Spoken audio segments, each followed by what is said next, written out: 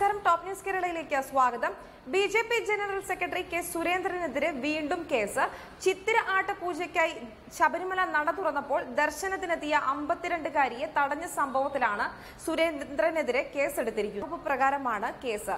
സന്നിധാനത്തിന് സമീപം വെച്ച് തൃശൂർ സ്വദേശിനി ലളിതയ്ക്കെതിരെ നടന്ന ആക്രമണത്തിൽ സുരേന്ദ്രൻ ഗൂഢാലോചന നടത്തിയെന്നാണ് ആരോപണം.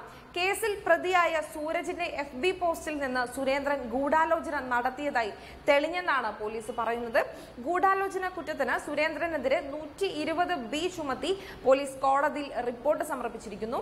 സുരേന്ദ്രന് പുറമെ അഞ്ച് B J P R S S നേതാക്കൾക്കെതിരെയും കേസെടുത്തിട്ടുണ്ട്.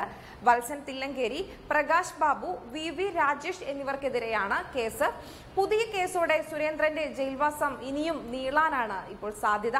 ശബരിമലയിലേക്കുള്ള യാത്രക്കിടെ നിരോധനാജ്ഞ ലംഘിച്ചതിന് അറസ്റ്റിലായ കെ സുരേന്ദ്രന് കഴിഞ്ഞ ദിവസം കോടതി ജാമ്യം അനുവദിച്ചിരുന്നു.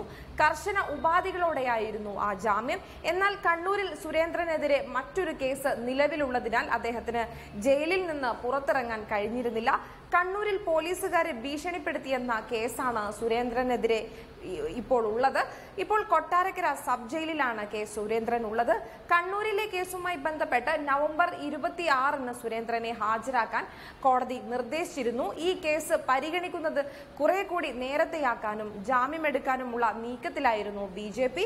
എന്നാൽ ഇതിനിടെയാണ് പുതിയ കേസ് കൂടി സുരേന്ദ്ര സുരേന്ദ്രനെതിരെ ഇപ്പോൾ വന്നിരിക്കുന്നത്.